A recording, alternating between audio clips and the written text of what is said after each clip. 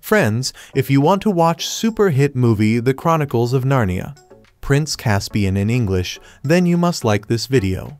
If you are visiting our channel for the first time, don't forget to subscribe to our channel.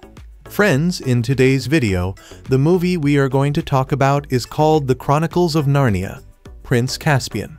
We will talk about what this movie is and where you can watch it, all the interesting facts about this movie. In today's video, I am going to tell you. I am also going to give you all the information on which OT platform, or on which satellite channel, you will get to watch this movie. Also, we will talk in detail about the technical department, music department, pre-production, filming, post-production, budget, box office collection of this film. We will also talk about the story of this film, and I will also give you a small review of the story of this film. Apart from this, we will discuss about the facts of this film, storyline, star cast, actors' performance in the film, and which character has played which role. That's why I request you friends to watch this video till the end, so let's start the video. The Chronicles of Narnia Prince Caspian is a 2008 high fantasy film directed by Andrew Adamson, who co-wrote the screenplay with Christopher Marcus and Stephen McFeely, based on the 1951 novel Prince Caspian, produced by Walt Disney Pictures and Walden Media, the second published and fourth chronological novel in the children's book series The Chronicles of Narnia by C.S. Lewis. The sequel to The Chronicles of Narnia, the Lion, the Witch, and the Wardrobe 2005, it is the second installment in the Chronicles of Narnia film series. William Moseley, Anna Popplewell, Skandar Keynes, Georgie Henley, Liam Neeson, and Tilda Swinton reprise their roles from the previous film, while new cast includes Ben Barnes, Sergio Castellitto, Peter Dinklage, Eddie Izzard, Warwick Davis, Ken Stott, and Vincent Grass. In the film, the four Pevensie siblings return to Narnia to aid Prince Caspian in his struggle for the throne against his corrupt uncle, King Miraz. Work on the script for the film began before The Lion, The Witch, and The Wardrobe was released, so filming could begin before the actors grew too old for their parts. Director Andrew Adamson wanted to make the film more spectacular than the first and created an action sequence not in the novel. The Narnians were designed to look wilder as they have been hiding from persecution, stressing the darker tone of the sequel.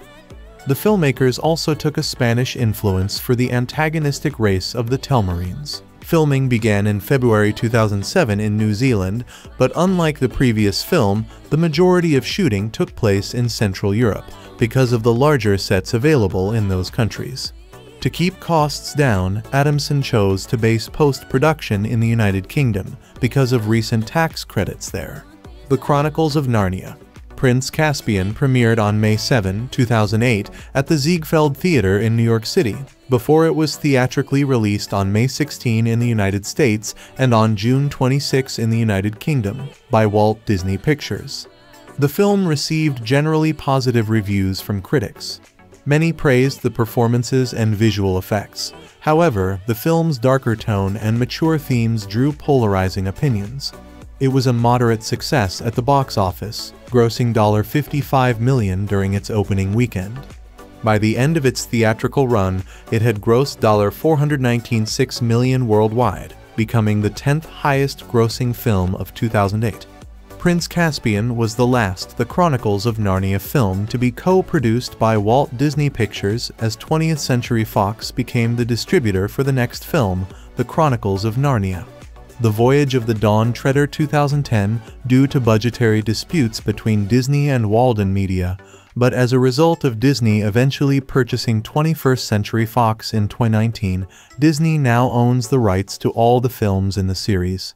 Movie plot in Narnia, almost one 300 years after the Pevensie siblings King Peter, Queen Susan, King Edmund, and Queen Lucy left Narnia and returned to their world, Caspian, a Telmarine prince, is awakened by his mentor, Dr. Cornelius. Dr. Cornelius informs Caspian that his aunt has just given birth to a son and that his life is now in grave danger. Cornelius gives him Queen Susan's ancient magical horn and instructs him to use it if he is in dire need.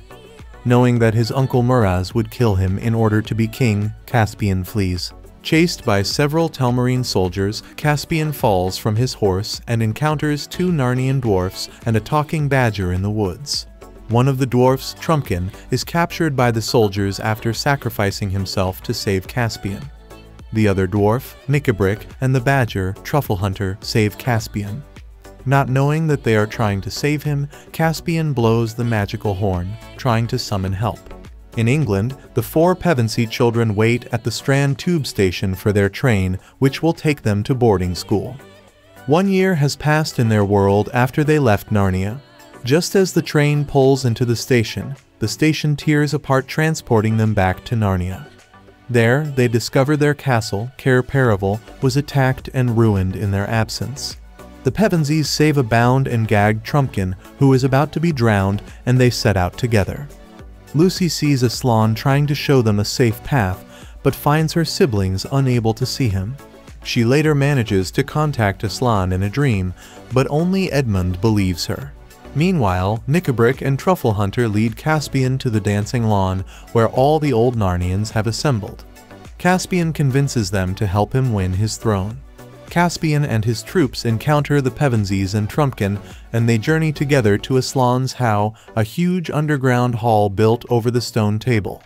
Lucy wants to wait for Aslan, but Peter decides they have waited long enough and suggests attacking Miraz's castle.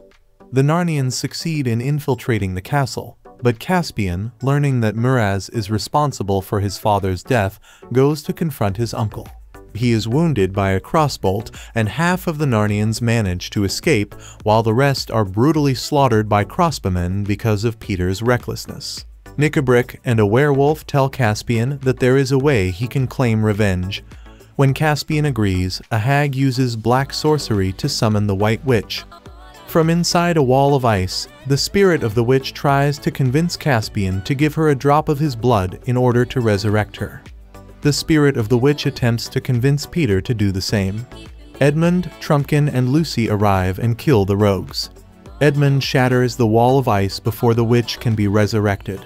Seeking redemption, Peter challenges Miraz to a one-on-one -on -one duel to buy Lucy time to find Aslan. Peter is able to wound Miraz and gives his sword to Caspian to finish him off.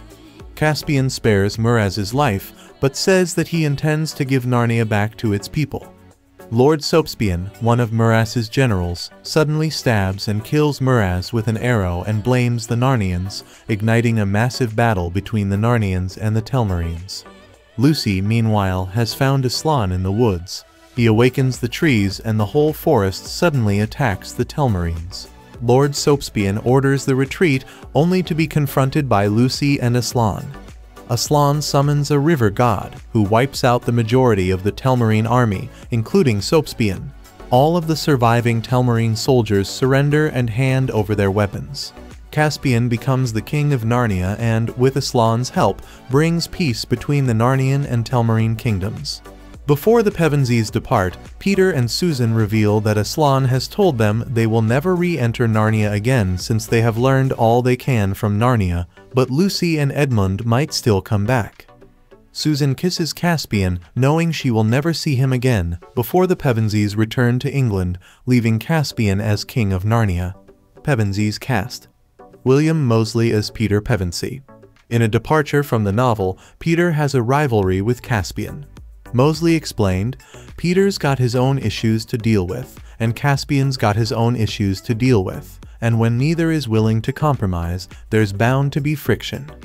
Peter came back to Narnia expecting to be king again and that everyone would do as he said, and Caspian is unwilling to let him take over, so that causes some of it. That's really what happens, and it's a lot about humility. I think they both have to learn a certain humility. And that's really what a great king needs is to be humble, to listen to his people, to be willing to compromise, and they start off as these sort of angry teenagers and become kings at the end. In real life, the two actors got on well together. Moseley also stated that he identified with Peter, having gone back to school between shooting both films. He trained for three months in New York City to improve his performance and his physicality. Anna Popplewell as Susan Pevensie, the second oldest Pevensie. Popplewell had been disappointed she barely used her bow and arrows in the first film. Adamson convinced Douglas Gresham to have her present during the battles by suggesting her passive role in the novel indicated Lewis' view of women before he met Joy Gresham. I think Lewis cast women down in the earlier books, but when you look at The Horse and His Boy, it has a strong female character. Doug's mother was a strong woman. Adamson also chose to have her fall for Caspian because the kids are growing up. If you look at Ben and you look at Anna, it seems really implausible that they wouldn't have some feelings for each other.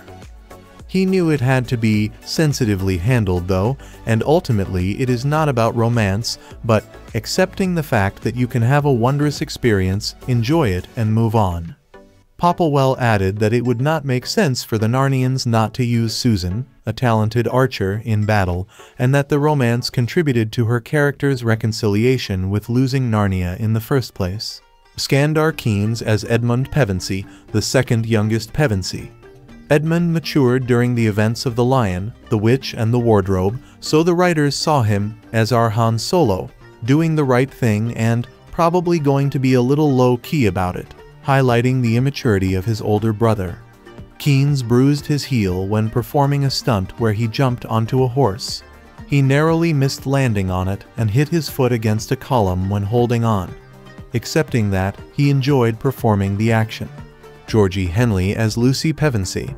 Henley acknowledged Lucy represents faith in the story, being the youngest and therefore most open-minded of the Pevensies. During filming, Henley's baby teeth were falling out, so she wore fake teeth to fill in the gaps. Telmarine's cast Ben Barnes as Prince Caspian. Adamson said, Caspian is a coming of age and, to some degree, a loss of innocence story, with Caspian starting out quite naive, then craving revenge and finally letting go of the vengeance. Andrew Garfield auditioned for the role, but was passed up for not being handsome enough according to his agent. Nicholas Hoult also auditioned, while many readers interpret Caspian as a child, a passage in the novel mentions his age to be near that of Peter's, so an older actor was sought to match Moseley. Barnes had read the novel as a child and was cast in two and a half weeks after meeting with the filmmakers. He spent two months in New Zealand horse riding and stunt training to prepare for shooting. Barnes modeled his Spanish accent on Mandy Patinkin's performance as Inigo Montoya in The Princess Bride, though he also had a dialect coach aiding him.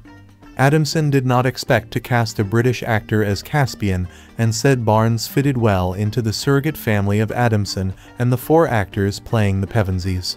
When cast, Barnes was set to tour with the Royal National Theatre's production of The History Boys. Producer Mark Johnson joked Barnes probably isn't the nation's favorite actor right now. Barnes left England without telling the theater.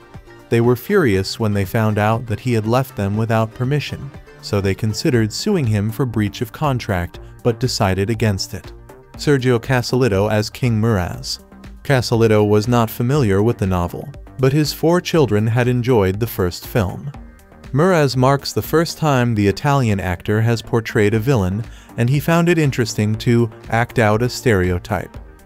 Nonetheless, he also felt that he and Adamson brought depth to the role, explaining Miraz is a soldier, not a coward, and that he takes the throne for his son. He compared the character to King Claudius in Hamlet. Pierfrancesco Favino as General Glozelle, Miraz's military commander who plots with Sopespian to have his king killed in combat with Caspian and Peter in order to lead his own attack on the Narnians. However, in the end, Glozelle repents and is the first to volunteer to go into the Pevensies' world, and in return is granted a good future by Aslan. This was Favino's idea because originally Glozelle would have died in battle. Adamson dubbed the character a real Benedict Arnold. Favino is able to speak several languages and generally acted as a translator to Adamson on set, while working with actors and crew members of multiple nationalities. Damian Alcazar as Lord Sopespian. In some ways, Sopespian turns out to be the real bad guy of the film, Adamson said. Where it seems that Miraz has the upper hand at the beginning, we see that Sopespian, like Shakespeare's Iago, is trying to manipulate the situation. Nine Alcazar was originally offered the role of Miraz, but once the filmmakers were informed that his little height would prevent him from intimidating Barnes' taller Caspian, Adamson decided to cast him as Sopespian, promising him to still give him a larger role. Vincent Grass as Dr. Dita Cornelius, Caspian's mentor who is half-dwarf. Adamson compared Caspian and Cornelius's relationship to Aristotle and Alexander the Great. Nine Cornelius's role in the movie is significantly smaller than in the novel, and he is not named on screen, being referred to only as Professor. Alicia Borrachero as Queen Prunaprismia.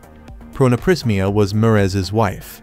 When she had learned that her husband had killed his own brother, she became heartbroken. After Miraz's death, Prunaprismia was the second volunteer to go back to our world with her child.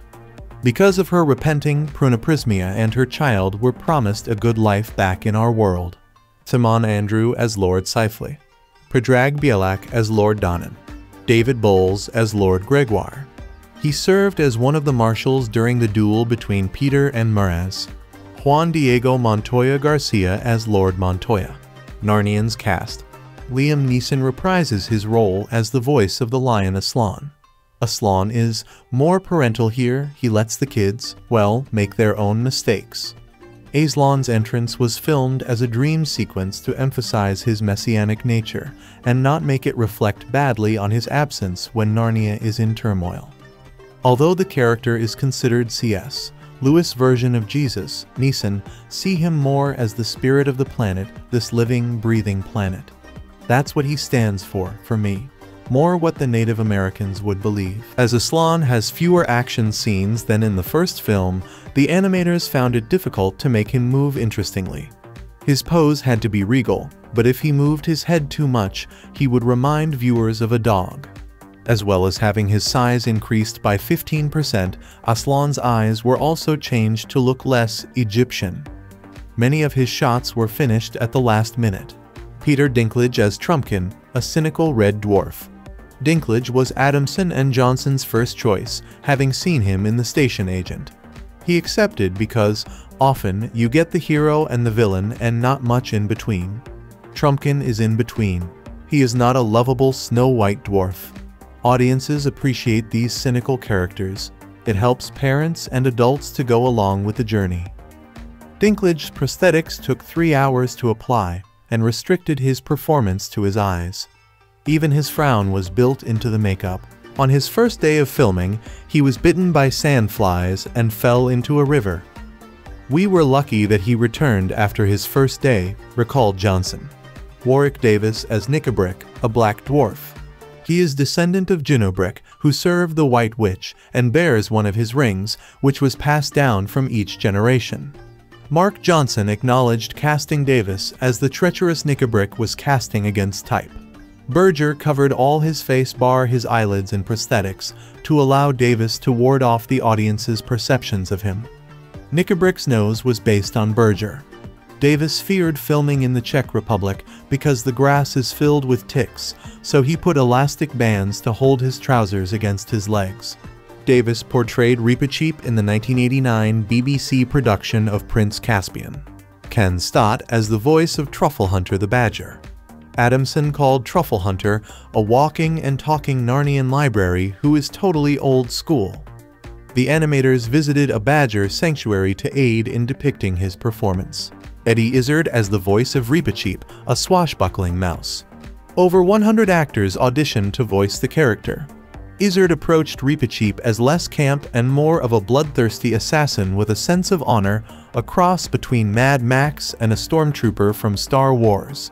Izzard interpreted Reepicheep as someone whose family was killed by the Telmarines. The Narnia series were some of the few books Izzard read as a child, and he cherished them. When discussing Reepicheep to the animators, Adamson told them to rent as many Errol Flynn films as possible. Adamson credits Izzard for making the role his own. Beforehand, the director was approaching the character similarly to Puss in Boots in Shrek 2. Cornell John as Glenstorm the Centaur. Adamson had seen John perform in Porgy and Bess in London and liked his long face. John imagined the character as being 170 years old and wanted to convey honor, pride, and tradition. Lejla Abasava as Windmane Glenstorm's wife, Yemi Akinyemi as Ironhoof Glenstorm's son, Carlos da Silva as Suncloud Glenstorm's son, Ephraim Goldin as Rainstone Glenstorm's son, David Walliams as the voice of the Bulgy Bear, Clara Esova as a Narnian hag who attempts to resurrect the White Witch. She used some Arabic words in her incantation. Gomez Mussenden son of costume designer Isis Mussenden plays Lightning Bolt, a child centaur. Jan Pavel Filipinski as Wimbleweather the Giant. Shane Rangi as Asterius, an elderly minotaur who aids Caspian. Josh Campbell provides the voice for the character. Asterius is killed during the raid while holding the gate open to allow some of the army to escape. Rangi also stood in for Aslan, the bulgy bear, the werewolf, another minotaur, and the wild bear on set. Rangi played General Otmin in the previous film and Tavros in The Voyage of the Dawn Treader. He was able to see more in the redesigned animatronic Minotaur heads, though, in order to make the eye line straight and correct, you've actually got to hold your head down, so your view is only about a foot and a half in front of you, which still makes it a little bit hard. This resulted in Rangi knocking himself against the rising gate of the Telmarine castle, although he was fine and it was the animatronic head that bore the brunt of the damage. The costumes were still very hot, reducing him to a walking waterfall. Although a head sculpt of Aslan was used to stand in for the character on the first film, Rangi had to portray the character on set because Lucy interacts with him more. Rangi lost 4 kilograms wearing all his costumes. Rangi also portrayed the werewolf, and he was the physical stand-in for Aslan, the bulgy bear, and the wild bear. Cameos cast. Tilda Swinton reprises her role as Jadis, the White Witch. Her ghost appears as the hag and werewolf attempt to resurrect her. Swinton and her two children also camoed towards the film's end as centaurs. Harry Gregson Williams, the film's composer, as the voice of Pattertwig the squirrel, as Adamson felt he had a squirrel-like energy. Douglas Gresham as a Telmarine crier. Writing. Before the release of the Chronicles of Narnia, The Lion, the Witch, and the Wardrobe, the screenplay for the sequel Prince Caspian had already been written. Director Andrew Adamson said the decision was made to follow the publication order of the novels because, if we don't make it now, we'll never be able to because the actors will be too old. Prince Caspian, the second published novel in the series, is the fourth chronologically. The Horse and His Boy takes place during a time only hinted at in The Lion, The Witch, and The Wardrobe. The writers briefly considered combining Caspian with The Voyage of the Dawn Treader, which the BBC did for their television adaptation.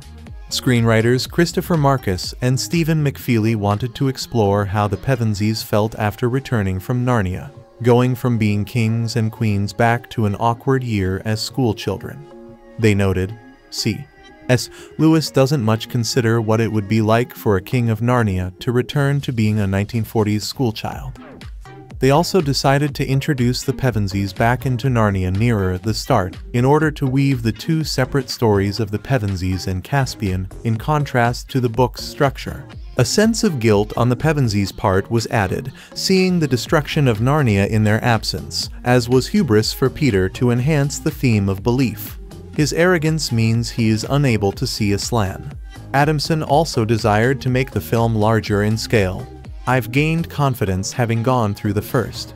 This time, I was able to go larger in scale, with more extras and bigger battle scenes.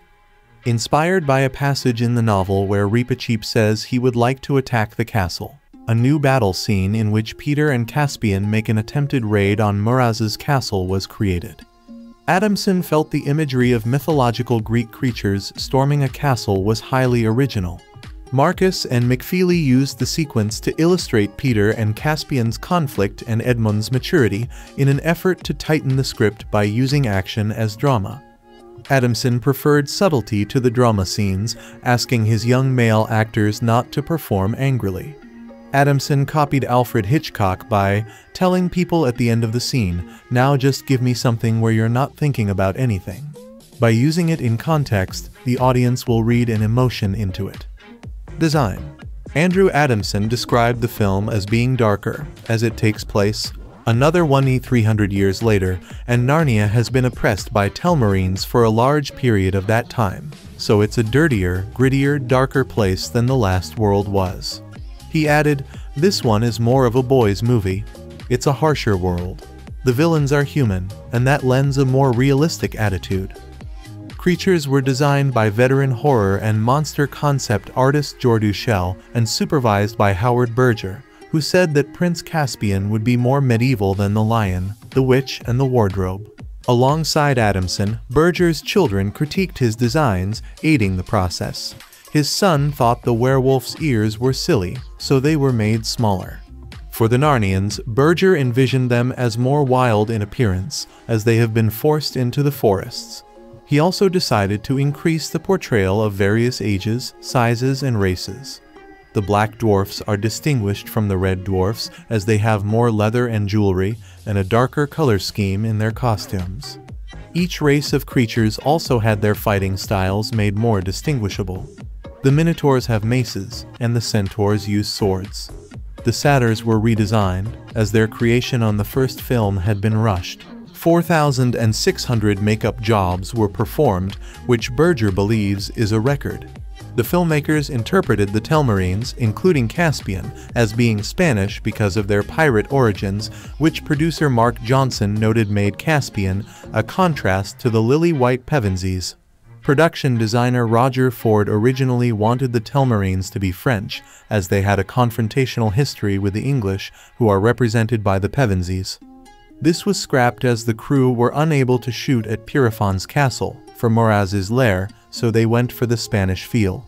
Weta Workshop created mast helmets for their army and faceplates for the live horses on set. The stunt soldiers wield 200 polearms in two different styles, 200 rapiers of varying design, over 100 falchions, 250 shields, and 55 crossbows. Caspian's own sword is a variation of the Royal Guard's weapons. Costume designer Isis Mussenden looked to the paintings of El Greco to inspire the Telmarines' costumes. She wanted to use colors that looked acidic and hot and cool at the same time, unlike the red and gold seen in the Narnian soldiers. Their masked helmets are based on conquistadors and samurai. She visited the armor archives of the Metropolitan Museum of Art for inspiration. An eagle emblem was incorporated into the characters' lairs to make them feel fascist. Filming. Eight months were spent scouting locations, including Ireland, China, and Argentina, before New Zealand, Prague, Slovenia, and Poland were chosen. Whereas the previous film was predominantly shot in New Zealand with a few months of filming in Central Europe, Adamson decided New Zealand lacked enough sound stages to accommodate the larger scale of the film. The decision to film most of the picture in Europe also allowed the ability to shoot during summer in both continents, although the weather turned out to be so erratic during filming that Adamson joked he had been lied to.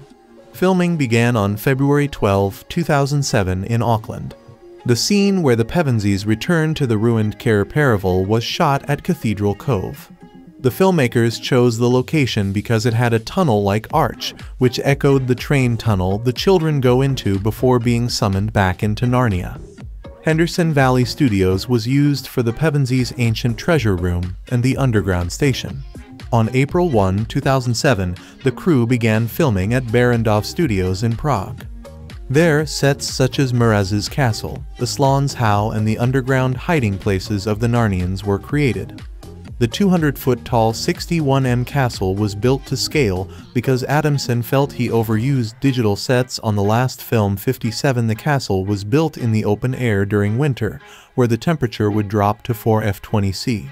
Miraz's courtyard is the largest set in production designer Roger Ford's career, including the previous Narnia film. Aslan's How was modified into the hideout after filming for those scenes was finished.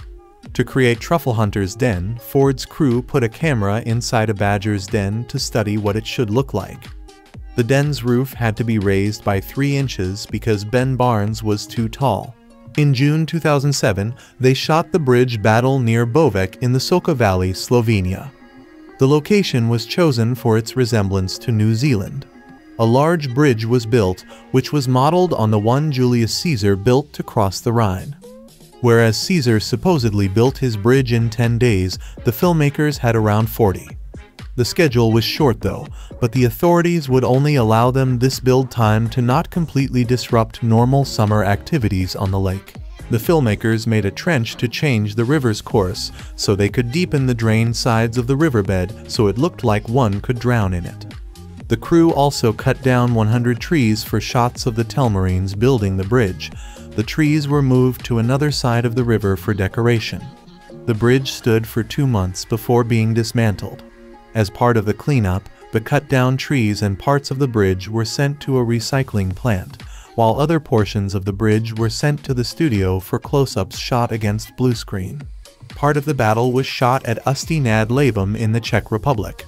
Only the entrance to Aslan's house was built on location. Adamson wanted Peter and Miraz's duel to feel unique and not like a controlled, overly choreographed fencing match. Moseley and Castellitto began training for the scene in November 2006 the stunt coordinator Alan Poppleton doubled for Castellitto in some shots because they are similar in size. For claustrophobic shots, cameras were built into their shields. The main camera was placed on a 360-degree track surrounding the ruin it takes place on. The filmmakers dug a large hole in the ground for the scene where the Narnians cause the pillars supporting the growth near Aslan's how to collapse on the Telmarines. The earth was then restored following completion of the scene. They also had to restore the grass after filming numerous cavalry charges. 18 and fern plants were imported to the Czech Republic to create a forest. A scene shot in Poland, which involved building a cliff face, also had to leave no trace behind. Filming finished by September 8, 2007. Effects Prince Caspian has over 1,500 special effects shots, more than The Lion, The Witch, and The Wardrobe's 800 effects shots, yet the film had less time to complete them. The scale of special effects led Andrew Adamson to base production in the UK to take advantage of new tax credits. Therefore, it legally qualifies as a British film. This also meant the director only had to walk five minutes from the editing room to supervise the effects. British visual effects companies The Moving Picture Company and Framestore CFC were hired to create the visual effects alongside Weta Digital. Framestore worked on Aslan, Truffle Hunter, and The Door in the Air. Scanline did The River God. Weta created The Werewolf, The Wild Bear, and Miraz's Castle. MPC and Escape Studios did the main battle, the tunnel scene, the castle assault, the council scenes, and all the other creatures. Alex Funke, who worked on The Lord of the Rings, directed the film's miniatures unit. These include 124th and 100th scale miniatures of Miraz's castle. A scale model was built of the Narnians' cave hideouts during the climactic battle, which the actor playing the giant Wimbleweather was filmed against. One of the improvements made over the previous film was to make the centaurs walk during dialogue scenes, so Cornell John as Glenstorm wore Powerisers mechanical stilts with springs to mimic a horse's canter and height. The animatronic Minotaur heads were also improved to properly lip sync, although this was not as successful as hoped and had to be revamped digitally. In the climactic battle, 150 extras stood in for the Narnians, while 300 extras were used for the Telmarines. These were digitally duplicated until there were 1,000 Narnians and 5,000 Telmarines on screen. The animators found it easier to create entirely digital centaurs and fauns rather than mix digital legs with real actors. The dryads were entirely computer-generated, whereas in the first film digital pedals had been composited over actors. However, Adamson had chosen to make the centaurs not wear armor, meaning the animators had to make the human-horse joint behave more cohesively. Combining digital characters with actors, such as when Lucy hugs Aslan, had become easier since the first film, as lighting had improved. To achieve Lucy hugging Aslan, Framestore even replaced Georgie Henley's arm with a digital version. For the Griffons, a motion control rig was created for the actors to ride on. The rig could simulate subtle movements such as wing beats for realism. Adamson cited the river god as the character he was most proud of. It was a really masterful effect. To control water like that is incredibly difficult, he said. The visual effects company told us they'd been waiting to do a shot like that for 10 years. The film features catapults resembling windmills that can fire rapidly and a ballista that can fire three projectiles at a time. The practical versions of these were metal with fiberglass painted and aged to resemble wood on top. Weta created props of the missiles thrown by the Telmarine equipment. The practical version of the catapult had its upper half painted blue to composite a digital version programmed for rapid firing movement. Music The Lion, the Witch, and the Wardrobe composer Harry Gregson Williams began composing the sequel in December 2007. Recording began at Abbey Road Studios the following month and finished by April 2008. The Crouch End Festival Chorus, Regina Spektor's song, The Call, Oren Lavie's song, Dance Round the Memory Tree and Switchfoot's song, This Is Home, are featured on the soundtrack. Imogen Heap, who sang Can't Take It In for the first film, wrote a new song which Gregson Williams considered too dark. Gregson Williams' score is darker to follow suit with the film. Gregson Williams wanted Caspian's theme to convey a vulnerability, which would sound more vibrant as he became more heroic. It originally used a 34 time signature, but the opening scene required a 44 and thus it was changed. To represent Miraz's cunning, the heroic theme from the first film was inverted. For Reepicheep, a muted trumpet was used to present his militaristic and organized character. Gregson Williams considered arranging his theme for a small penny whistle, but found that it sounded too cute and broke the tension of the night raid. Release During pre-production, Disney announced a December 14, 27 release date, but pushed it back to May 16, 2008 because Disney opted to not release it in competition with The Water Horse, another Walden Media production. Disney also felt the Harry Potter films comfortably changed their release dates from Northern Hemisphere winters to summers, and Narnia could likewise do the same because the film was darker and more like an action film. The world premiere was held at the Ziegfeld Theatre in New York City on May 7, 2008. The British premiere was held at the O2 Arena on June 19, the first time the Dome has hosted a film screening. Around 10,000 people attended the event, the proceeds of which went to Great Ormond Street Hospital. The film opened in 3929 theaters in the United States and Canada on May 16, 2008. The Motion Picture Association of America gave the film a PG. To earn this rating, which the filmmakers were contractually bound by Disney to do, Adamson altered a shot of a fallen helmet to make clear that it did not contain a severed head.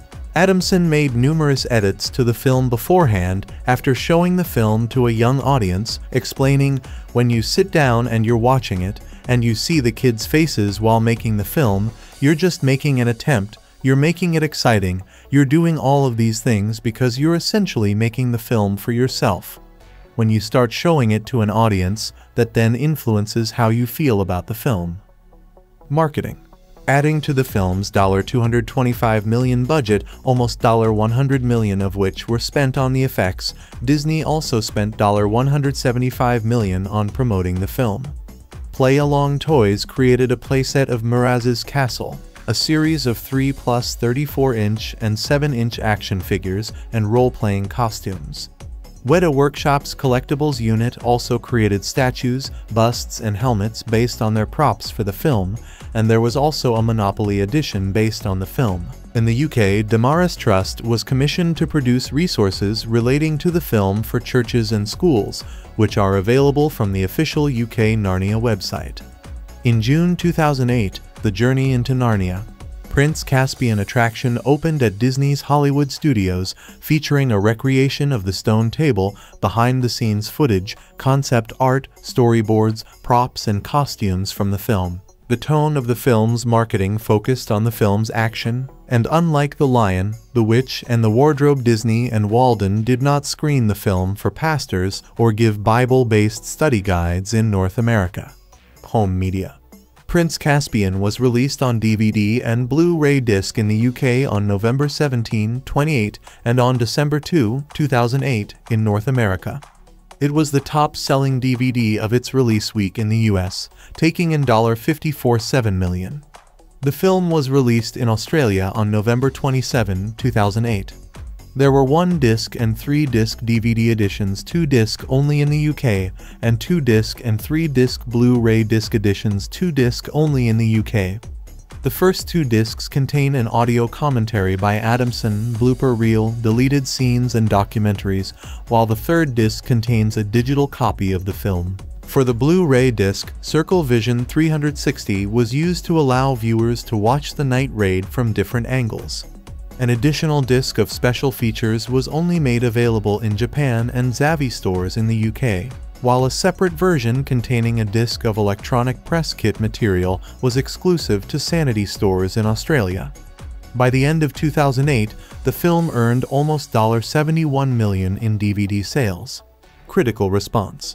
The review aggregator website Rotten Tomatoes reported that 67% of critics gave the film positive reviews based on 192 reviews. The site's critical consensus reads, The Chronicles of Narnia. Prince Caspian is an entertaining family adventure worthy of the standard set by its predecessor. Metacritic reported the film had an average score of 62 out of 100, based on 34 critics, indicating generally favorable reviews. Audience members polled by CinemaScore gave the film an average grade of A on an A plus to F scale.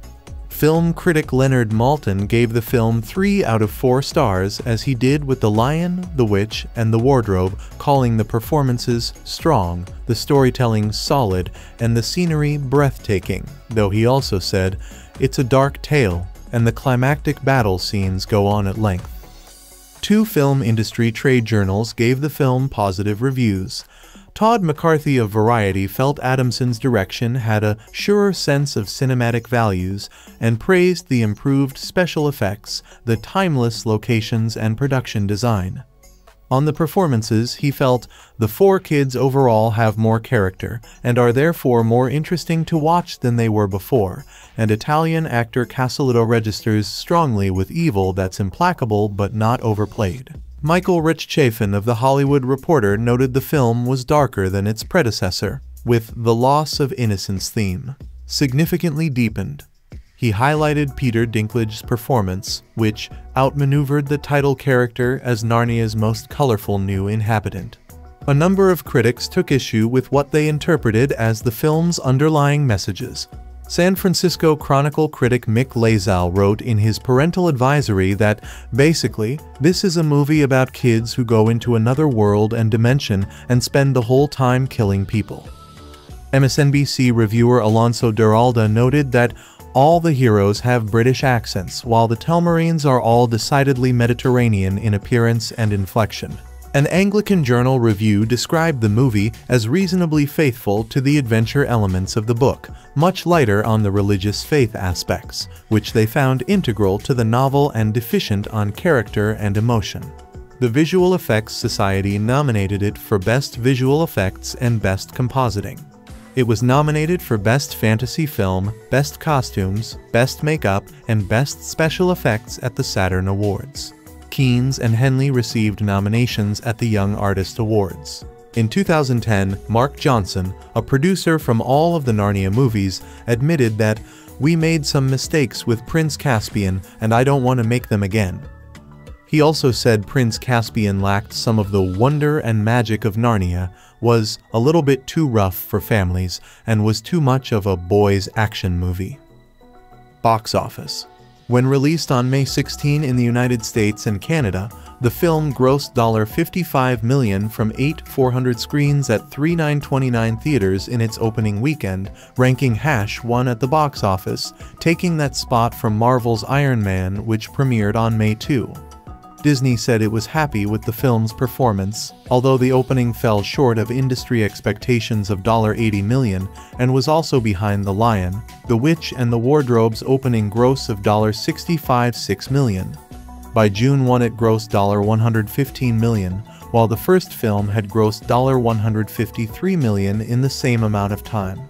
Disney CEO Robert Iger attributed the film's underperformance to being released between two of the year's biggest hits, Iron Man and Indiana Jones and the Kingdom of the Crystal Skull. On May 16, the film also opened at number 1 in 12 other countries, grossing $22.1 million and bringing the worldwide opening total to about 77 million. The film opened in Russia with 67 million, the biggest opening of the year. It earned $63 million 15% more than the first in Mexico. $4 million in South Korea, making it in the third most successful Disney film there. $2 million from India, which was triple the gross of the first, and it earned 1 million in Malaysia, making it the country's third most popular Disney film after the Pirates of the Caribbean sequels. The film also opened with $1 million in Argentina on June 13, which was Disney's third biggest opening in the country and the biggest of 2008 at that time. Prince Caspian made $141.6 million in the United States and Canada, while the worldwide total stands at $419.7 million. The movie was the 10th highest grossing film of 28 worldwide and was Disney's second highest grossing film of 2008 after Wall-E. The Chronicles of Narnia, Prince Caspian Movie Review. The Chronicles of Narnia movies take place in several worlds simultaneously. The magical fantasy land of the title is grounded in ancient Greco-Roman mythology, ruled by sorcery and superstition, and populated by centaurs, minotaurs, fauns, griffons, talking mammals, tree spirits, and such. The Pevensie kids are Homo sapiens children of WW Roman 2 England, though they spend most of their screen time and alternate lives in Narnia, where they are royalty. C.S. Lewis wrote the novels in the post-war United Kingdom between 1949 and 1954, and the pictures themselves are the products of a globalized 21st century economy dominated by multinational conglomerates like the Walt Disney Company. All of these influences can be felt in the first two Narnia films, the Lion, the Witch, and the Wardrobe 2005 and the latest, Prince Caspian 2DNA. With bigger battles and scarier monsters than its predecessor, the new movie flaunts grander visual effects, and with one notable exception, a dash more individuality than the initial installment. Thanks are due to supporting appearances by a diminutive Narnian named Trumpkin Peter Dinklage, whose eyes have to do all the work underneath those flowing whiskers and latex wrinkles, and a fearless feather sporting mouse named Reepicheep voiced by Eddie Izzard with flair and without overacting. The keepers of the franchise should also be delighted that the actors playing the Pevensie children have aged so gracefully over the last three years, or one 300 depending on how you're counting. You never know when somebody's going to go through an awkward stage, but these kids have only grown more photogenic with time.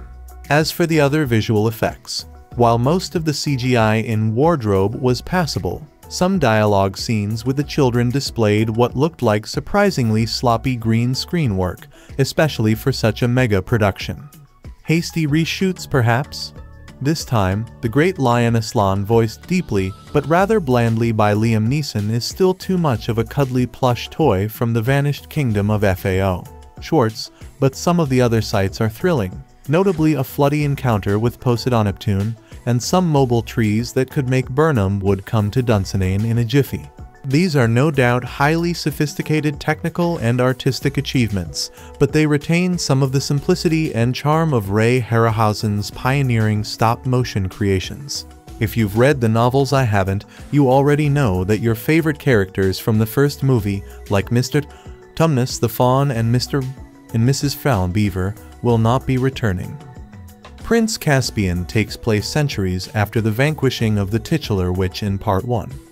As Part 2 begins, the persecuted Narnian diaspora has been driven deep into the woods and allegedly to the brink of extinction by usurper Telmarine King Miraz Sergio Castellitto. It is never quite clear, though, who exactly the Narnians are. They're definitely not a species or a race because they include leopards, badgers, dwarves they're called dwarves in the credits, not little people, giants, rhinoceroses, unicorns and mice many of whom are conversant in English, but not, as you may recall from the first film, tigers, wolves, cyclopses, miniature Huns or two-legged yaks, all of whom are unaccountably but virulently anti-Narnian. Now it's Prince Caspian Ben Barnes, with his indefinable Mediterranean accent more Spanish than Italian who must return from exile to claim the throne, and although he's a son of Adam Human, he's not a Narnian, he's a Telmarine. And we don't really know what that is either. Unfortunately, since he figures prominently in the next two installments as well Caspian registers as little more than a pretty vacancy in his debut outing. The time spent on his story and the political backstabbing at the dark and dreary royal court involving bearded lords and generals who all run together in a swarthy stew feels like expositional padding, and there's too much of it in this nearly two and a half hour movie.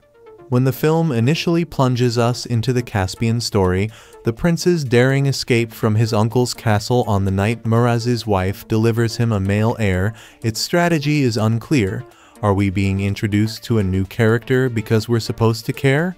Or are the filmmakers just toying with us, delaying the gratification of seeing the Pevensie siblings? All of the above, probably. In wartime London, the formerly cranky and petulant Edmund Skandar Keynes has become a trusty backer of his testy older brother Peter William Moseley, who resents being a regular teen again after having already lived to adulthood as Golden Boy High King of Narnia. Susan Anna Popplewell is learning to fend off nerdy smitten schoolboys, and Lucy Georgie Henley has developed poise and grace to complement her natural curiosity. It will be up to them to help Caspian defeat Miraz and restore the monarchy. As directed by son of Adam Andrew Adamson, the Shrek series, the Narnia movies are mostly about the plot and the effects, not necessarily in that order. They are serviceable spectacles, but don't approach the mythic grandeur and resonance of more grown-up films like John Boorman's Excalibur or Guillermo del Toro's Pan's Labyrinth. And in part that's because character is not destiny in the Narnia pictures. Destiny is, which creates some moral and dramatic dilemmas for the viewer. With all the dramatis personae Lewis has crammed into his filigreed fantasies, few of the players have the opportunity to leave much of an impression or acquire significance beyond what the tale demands of them. Who's that badger again? They do what is asked of them in the story and by the story. And once we realize that even the leads are predestined to play their parts in fulfilling prophecies, and that all they have to do to meet the requirements is to abide by or guess whatever certain mystical authority figures want them to do, the tension deflates a bit. The moral options, as set forth in the movies so far, are fairly clear-cut. Believe the beautiful lion and the friendly beavers. Don't trust the sepulchral ice queen bearing Turkish delight or the hideous dark demons extolling the forces of hate. What could be simpler? A child could do it. And what kind of lesson does that communicate to the child who can? That it's easy to tell right from wrong, not a wise maxim. What responsibilities do the sons of Adam and daughters of Eve, how does that work? Bear for their own decisions and the consequences of their actions, if everything can eventually be set right by some deus ex machina, the healing properties of supernatural potions, or the corrective powers of magic lion's breath. What becomes of free will, of meaning itself? Prince Caspian represents a slight moral advancement over its predecessor in that hubris does have catastrophic consequences though mostly for extras and bad guys. Hundreds die needlessly because their reputed leaders put too much stock in their own invincible status. But the price paid is never too dear, at least not for anybody you become accustomed to seeing on screen. The larger question remains, why, really, do the Narnians need some anti-democratic, monarchy-loving European son of Adam to lead them, to protect them, to fulfill their prophecies? Think of Dennis, the repressed anarcho-syndicalist peasant in Monty Python and the Holy Grail. You can't expect to wield supreme executive power just because some watery tart threw a sword at you. Why can't the Narnians just lead themselves? There's an obvious candidate for the job here, a towering black centaur named Glenstorm Cornell, John, possessed of a noble bearing unsurpassed in Narnia. He doesn't move as gracefully as he ought, but that fault lies with the effects crew and not with the character. Now this charismatic fellow is a natural leader, a prophet, and a mesmerizing public speaker to boot. When he talks, you listen. He could also kick the pudding out of Peter or Caspian with both arms behind his back and still have four legs to stand on. Sadly for him and us, his fate was decided a long time ago. By an Irish writer who dwelt in England's green and pleasant land. Other information about this film. Narnia has a crate and key epidemic in Disney Interactive's new Prince Caspian video game. Though there's a fair bit of action, this movie adaptation is primarily a collection of platform gaming cliches with an emphasis on punching through breakable containers in search of the items needed to keep going. Sterling reproductions of the movie's CG sets will wow anyone, but Caspian's obsession with trivial collectibles and too obvious puzzles limits its appeal to young gamers and Narnia buffs. Developer Traveller's Tales is best known for its breezy, lucrative LEGO Star Wars games. Prince Caspian could almost be LEGO Narnia, only without the plastic blocks or sense of irony. Instead, gamers get a respectably literal imitation of the film divvied equally into battle sprees and fetching missions intercut by smartly edited and uncommonly complete shots from the movie, including two made especially for the game. The voice work, provided by all of the film's principal talent save for Eddie Izzard Reepicheep, is solid if unremarkable. Problematically, Caspian turns its cast of controllable heroes, which includes the Pevensie children, a handful of Narnians and Prince Caspian himself, into barrel-bashing gophers. The game is mostly about scouting small maps, collecting keys that open bonus chests and battering every crate and barrel in sight to free glittering shards that boost armor rating since each area resets when players leave and return, racking up a perfect armor rating and 10 times the number of keys necessary to unlock everything is possible before the halfway mark, especially confounding when that point can be reached in about 3 hours. Missions primarily consist of staving off gangs of Telmarines while finding cogs to assemble Rube Goldbergian contraptions, standing on depressible platforms to open doors, and employing special abilities like shooting and climbing to solve bland puzzles. Those who aren't put off by the cliches will almost certainly balk at the way the same to DOS are woven into nearly every level. For all it makes overly easy, much about Caspian can be maddeningly abstruse, for instance, it's impossible to see how many bonus chests are on a map without first completing that area's mission. Also, players must be near another character to swap control, which feels punitive when wading solo through hundreds of battling figures. Worst of all is the fixed position camera, which hunkers under battlements, hides behind pillars, and pretty much sticks on the wrong side of everything. It's another example of a holdover from the LEGO Star Wars games that makes an already derivative experience that much more irritating. The Chronicles of Narnia Prince Caspian is a 2008 high fantasy film directed by Andrew Adamson, who co-wrote the screenplay with Christopher Marcus and Stephen McFeely, based on the 1951 novel Prince Caspian, produced by Walt Disney Pictures and Walden Media, the second published and fourth chronological novel in the children's book series The Chronicles of Narnia by C.S. Lewis. The sequel to The Chronicles of Narnia, The Lion, the Witch, and the Wardrobe 2005, it is the second installment in the Chronicles of Narnia film series. William Moseley, Anna Popplewell, Skandar Keynes, Georgie Henley, Liam Neeson, and Tilda Swinton reprise their roles from the previous film, while new cast includes Ben Barnes, Sergio Castellitto, Peter Dinklage, Eddie Izzard, Warwick Davis, Ken Stott, and Vincent Grass. In the film, the four Pevensie siblings return to Narnia to aid Prince Caspian in his struggle for the throne against his corrupt uncle, King Miraz. Work on the script for the film began before The Lion, The Witch, and The Wardrobe was released, so filming could begin before the actors grew too old for their parts. Director Andrew Adamson wanted to make the film more spectacular than the first and created an action sequence not in the novel. The Narnians were designed to look wilder as they have been hiding from persecution, stressing the darker tone of the sequel.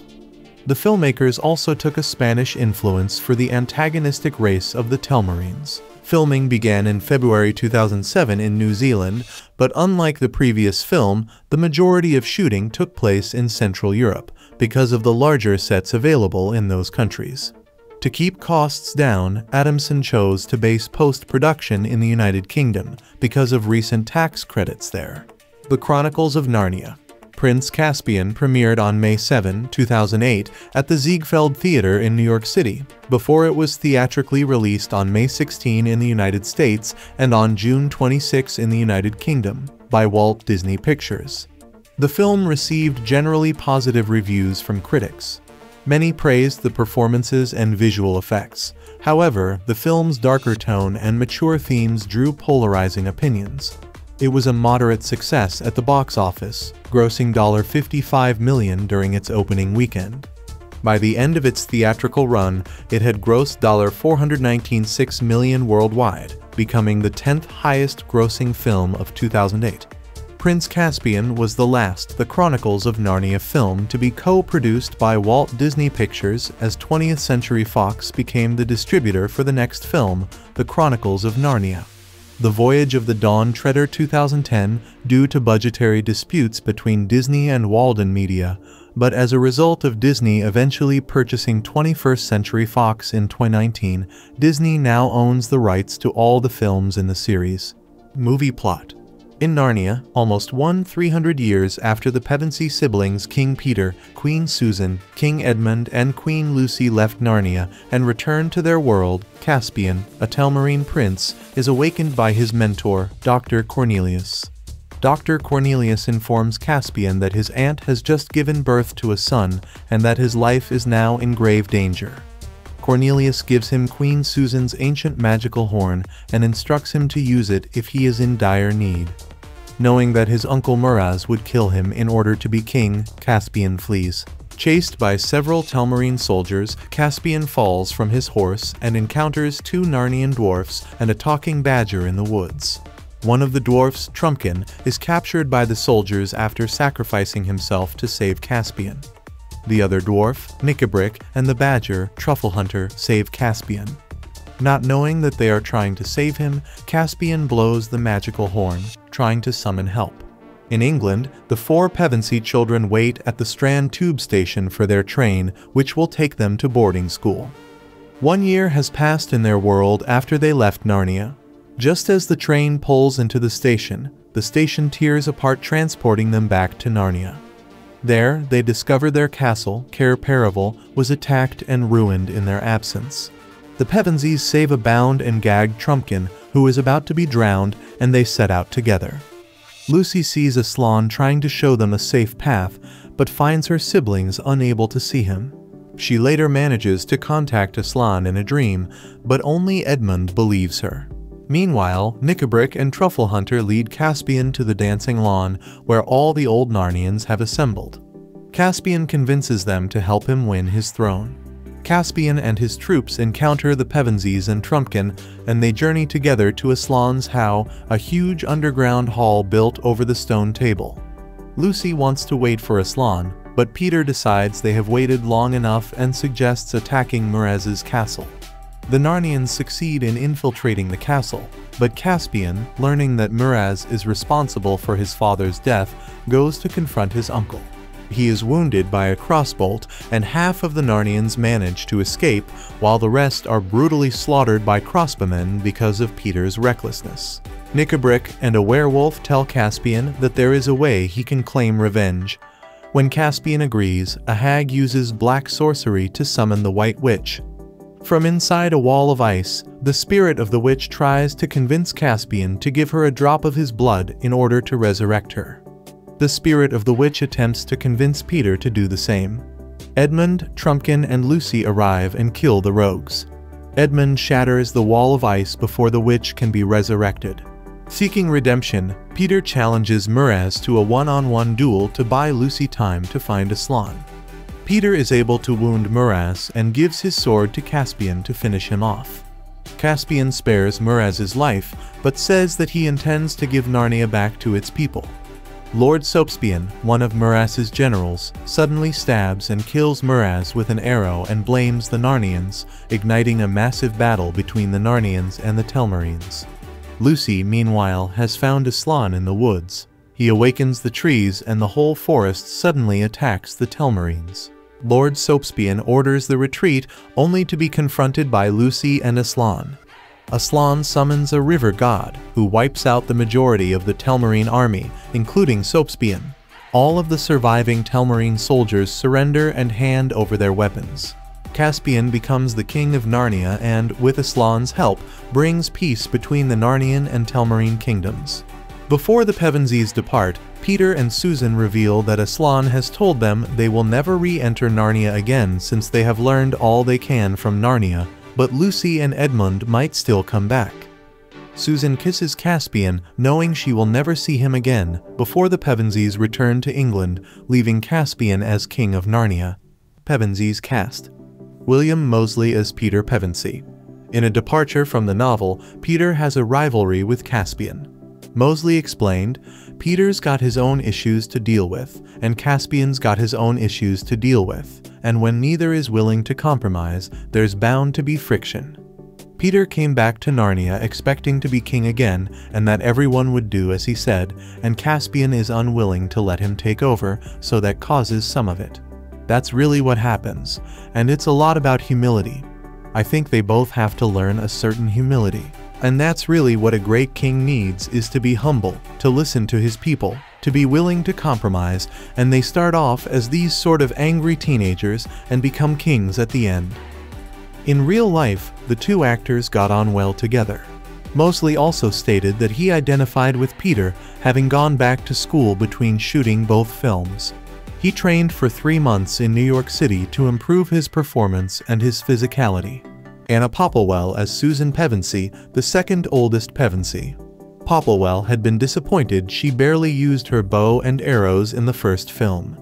Adamson convinced Douglas Gresham to have her present during the battles by suggesting her passive role in the novel indicated Lewis' view of women before he met Joy Gresham.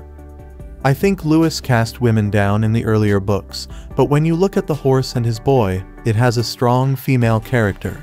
Doug's mother was a strong woman. Adamson also chose to have her fall for Caspian because the kids are growing up. If you look at Ben and you look at Anna, it seems really implausible that they wouldn't have some feelings for each other. He knew it had to be sensitively handled though, and ultimately it is not about romance, but accepting the fact that you can have a wondrous experience, enjoy it, and move on.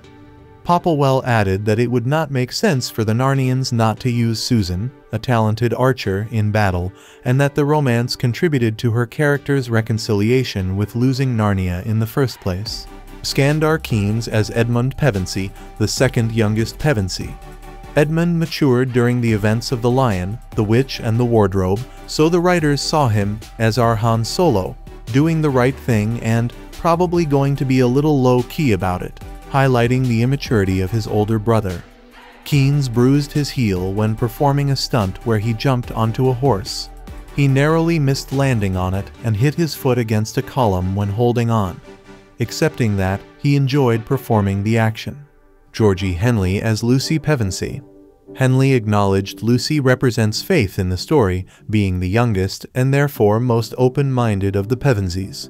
During filming, Henley's baby teeth were falling out, so she wore fake teeth to fill in the gaps.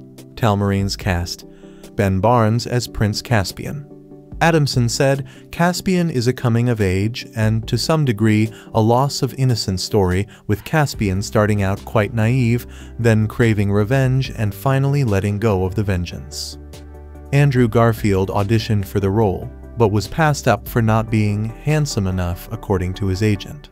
Nicholas Hoult also auditioned, while many readers interpret Caspian as a child, a passage in the novel mentions his age to be near that of Peter's, so an older actor was sought to match Moseley. Barnes had read the novel as a child and was cast in two and a half weeks after meeting with the filmmakers. He spent two months in New Zealand horse riding and stunt training to prepare for shooting.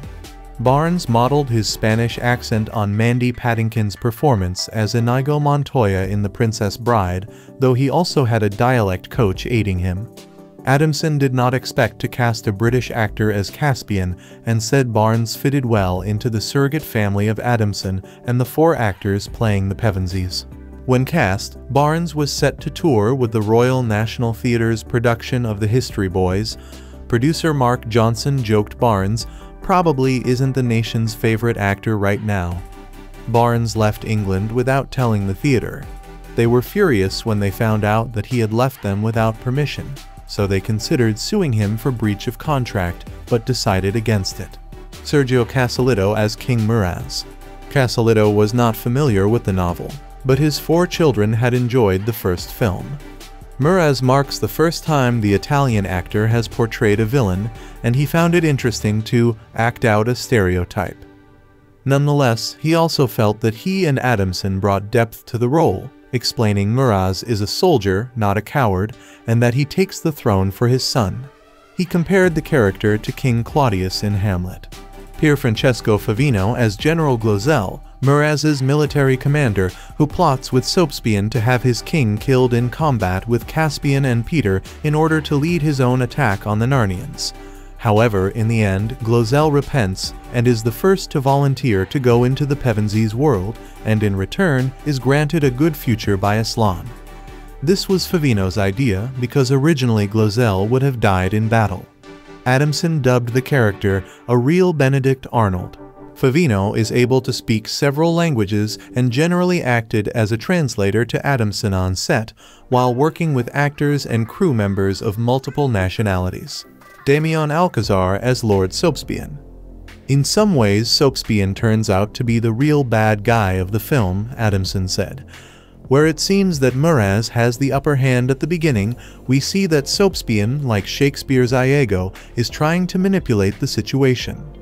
Nine Alcazar was originally offered the role of Miraz, but once the filmmakers were informed that his little height would prevent him from intimidating Barnes' taller Caspian, Adamson decided to cast him as Sopespian, promising him to still give him a larger role.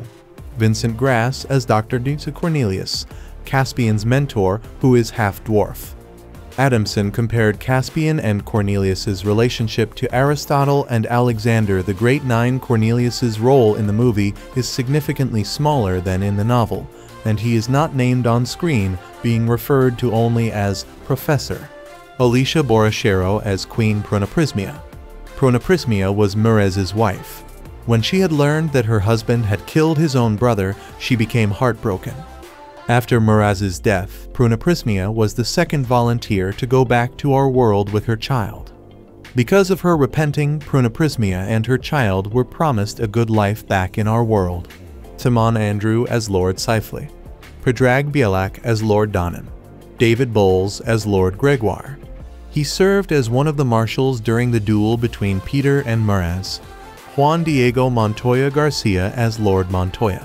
Narnians cast Liam Neeson reprises his role as the voice of the lion Aslan. Aslan is more parental here, he lets the kids, well, make their own mistakes. Aslan's entrance was filmed as a dream sequence to emphasize his messianic nature and not make it reflect badly on his absence when Narnia is in turmoil. Although the character is considered CS, Lewis' version of Jesus, Neeson, see him more as the spirit of the planet, this living, breathing planet. That's what he stands for, for me. More what the Native Americans would believe. As Aslan has fewer action scenes than in the first film, the animators found it difficult to make him move interestingly. His pose had to be regal, but if he moved his head too much, he would remind viewers of a dog. As well as having his size increased by 15%, Aslan's eyes were also changed to look less Egyptian. Many of his shots were finished at the last minute. Peter Dinklage as Trumpkin, a cynical red dwarf. Dinklage was Adamson and Johnson's first choice, having seen him in The Station Agent. He accepted because, often, you get the hero and the villain and not much in between. Trumpkin is in between. He is not a lovable Snow White dwarf. Audiences appreciate these cynical characters. It helps parents and adults to go along with the journey. Dinklage's prosthetics took three hours to apply, and restricted his performance to his eyes. Even his frown was built into the makeup. On his first day of filming, he was bitten by sandflies and fell into a river. We were lucky that he returned after his first day, recalled Johnson. Warwick Davis as Nikabrik, a black dwarf. He is descendant of Ginarrbrik, who served the White Witch and bears one of his rings, which was passed down from each generation. Mark Johnson acknowledged casting Davis as the treacherous Nikabrik was casting against type. Berger covered all his face bar his eyelids in prosthetics to allow Davis to ward off the audience's perceptions of him. Nikabrik's nose was based on Berger. Davis feared filming in the Czech Republic because the grass is filled with ticks, so he put elastic bands to hold his trousers against his legs. Davis portrayed Reepicheep in the 1989 BBC production of Prince Caspian. Ken Stott as the voice of Truffle Hunter the Badger. Adamson called Truffle Hunter a walking and talking Narnian library who is totally old school. The animators visited a badger sanctuary to aid in depicting his performance. Eddie Izzard as the voice of Reepicheep, a swashbuckling mouse. Over 100 actors auditioned to voice the character. Izzard approached Reepicheep as less camp and more of a bloodthirsty assassin with a sense of honor, a cross between Mad Max and a stormtrooper from Star Wars. Izzard interpreted Reepicheep as someone whose family was killed by the Telmarines. The Narnia series were some of the few books Izzard read as a child, and he cherished them.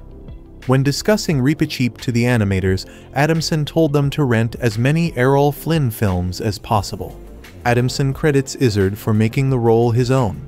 Beforehand, the director was approaching the character similarly to Puss in Boots in Shrek 2.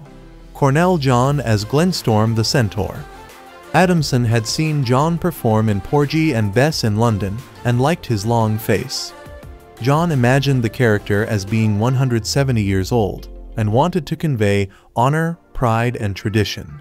Lejla Abbasová as Windmane Glenstorm's wife, Yemi Akinyemi as Ironhoof Glenstorm's son, Carlos da Silva as Suncloud Glenstorm's son, Ephraim Goldin as Rainstone Glenstorm's son, David Walliams as the voice of the Bulgy Bear, Klára Issová as a Narnian hag who attempts to resurrect the White Witch. She used some Arabic words in her incantation. Gomez Mussenden son of costume designer Isis Mussenden plays Lightning Bolt, a child centaur. Jan Pavel Filipenský as Wimbleweather the Giant. Shane Rangi as Asterius, an elderly minotaur who aids Caspian. Josh Campbell provides the voice for the character. Asterius is killed during the raid while holding the gate open to allow some of the army to escape.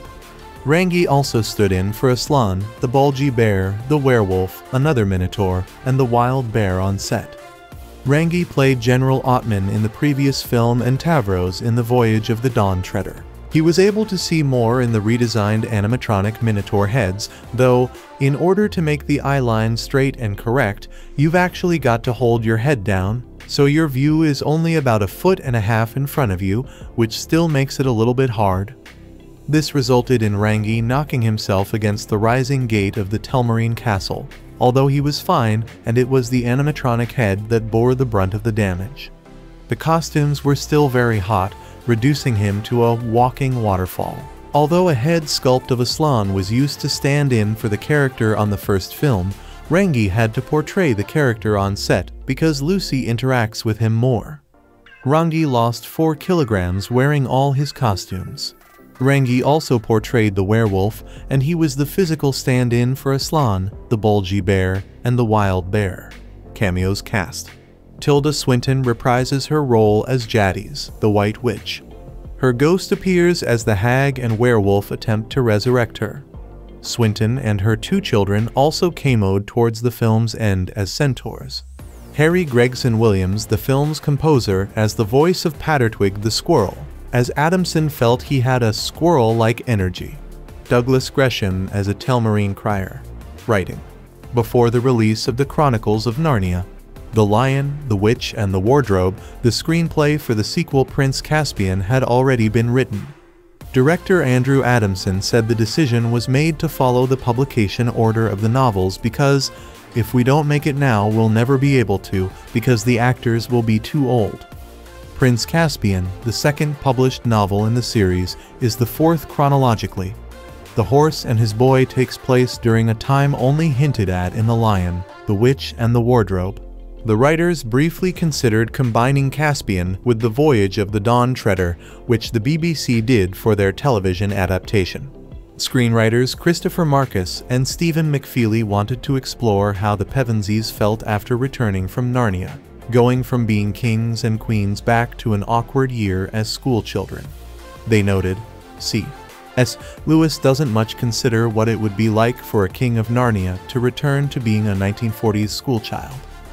They also decided to introduce the Pevensies back into Narnia nearer the start, in order to weave the two separate stories of the Pevensies and Caspian in contrast to the book's structure.